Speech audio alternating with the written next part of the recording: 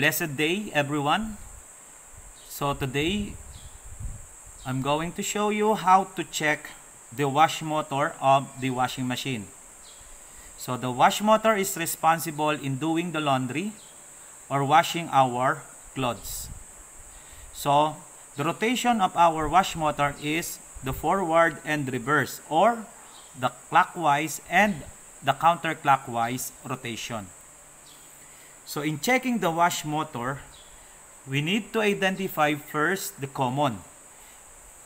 And the resistance of the forward and reverse wire should be the same so that the power in clockwise rotation and counterclockwise rotation is the same speed. Okay po? Now, first thing we need to do is to set the BOM to times 10.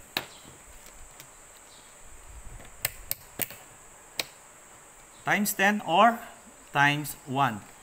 So, much better if we use the times 1 range. Right? So, calibrate the multitester by shorting the test probe and adjust the zero ohm adjustment knob so that the needle or the pointer will proceed to the zero or goes to zero ohm. Okay? So if the pointer needle is in zero, so you, you can now use the multitester. So next thing you need to do is to write or we need to measure the resistance of the black and red, black and blue, red and black, red and blue, and then blue and red, and then blue and black. So after measuring, we need to add the resistance. Okay, first we need to write the color, so black and red, black and blue, then red and black, then red and blue, and then blue and red and then blue and the black. So we need to measure the resistance of the different wires. First we need to measure the black and red. So here's the black and red. So red and then the black So the measurement is 30 ohms. So the resistance of black and red is 30 ohms. Next, we need to measure the black and the blue. So here's the black. So we uh, we do not need to have the polarity because we have we are doing the resistance measurement. So we have the black and blue.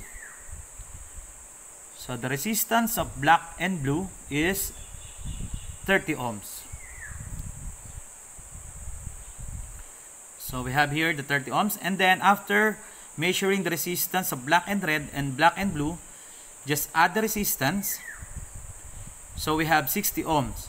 So the resistance of black is equal to 60 ohms. So that will be the resistance of the black.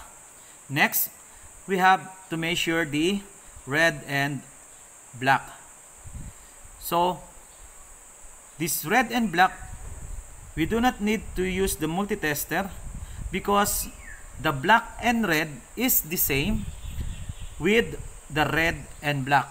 So, the resistance of black and red is the, equal to the resistance of red and black, which is 30 ohms. So next, we need to measure the red and black resistance or the resistance of red and black. So the red and uh, sorry, the red and blue. So we have here the red wire and the blue wire. So the resistance of the red and blue is 60 ohms. The resistance of red and blue is 60 ohms. So that's it. Then we're going to add the resistance. That will be 0. Then 3 plus 6 is 9. So we have 90 ohms. So the resistance of the red wire is 90 ohms. Next, we have the blue and red. So same with the red and black and black and red. Blue and red is the same with the red and blue. So the resistance of red and blue is equal to the resistance of blue and red which is 60 ohms. And the blue and black is the same with the black and blue. So the resistance of black and blue is equal to the resistance of the blue and the black. So which is 30 ohms. Then you're going to add. So 0, 6 plus 3 is 9, 90 ohms.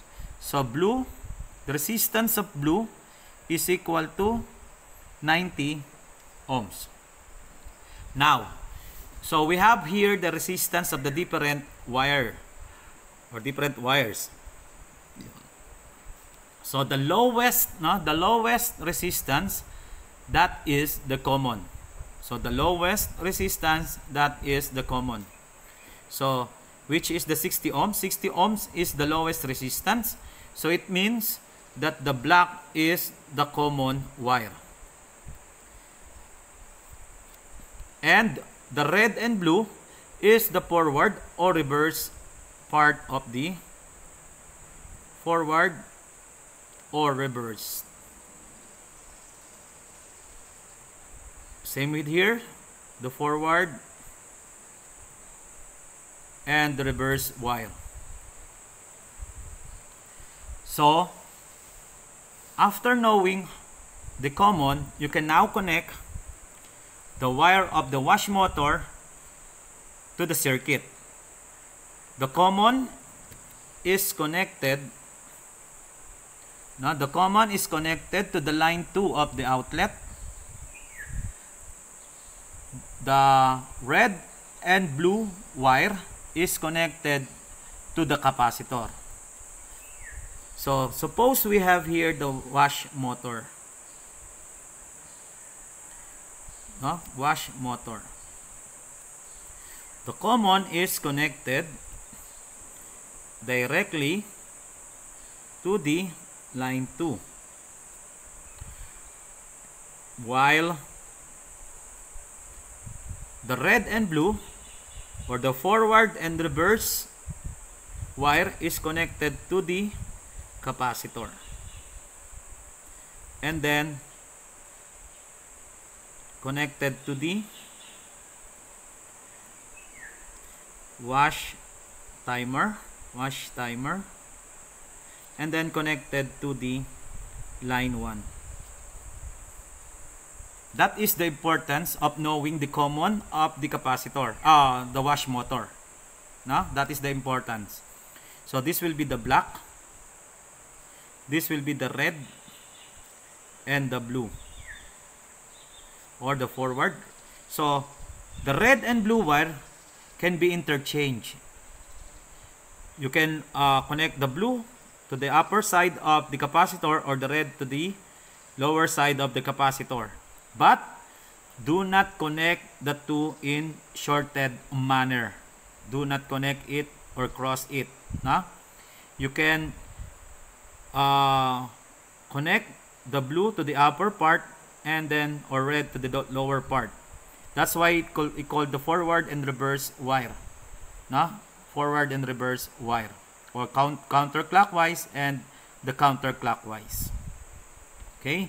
They are the responsible in doing the counterclockwise rotation and the counterclockwise rotation. As you can see also that the resistance of the red and the blue are the same, 90 ohms. So that the power of the rotation during the counterclockwise rotation and the clockwise rotation is the same speed. That is the importance of the same. No? The same resistance. It is, uh, that's not like uh, the spin motor that we need to find the start and the run winding. Okay? So that is how to test the wash motor of the washing machine. If you have any question, that just uh, chat it in the comment box and I will answer it immediately or uh, with all my uh, knowledge and skills. Thank you and God bless.